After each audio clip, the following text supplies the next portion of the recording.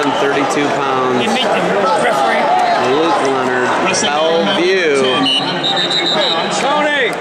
Round, to the state quarterfinal round. Luke Leonard in the red, Rocky Jordan in the green. Jordan left-handed head inside single leg. This is the quarterfinal winner to the semis. So Jordan to take down.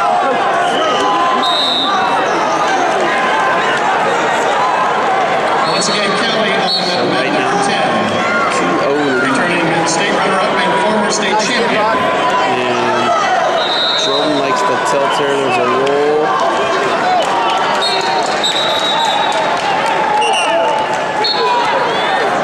And Jordan up 5-0 now. I'm gonna get another set here.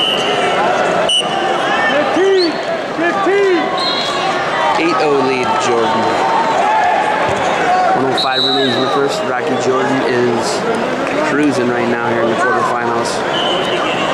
Putting serious points on the board from the top position. There's another tilt pulls him on.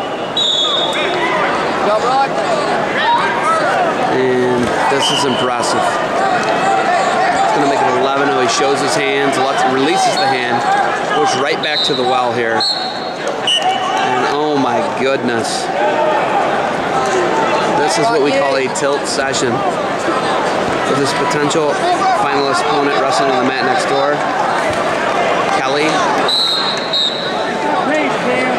who you'll also get to see. And Rocky Jordan looking for a first period tech. Oh my goodness.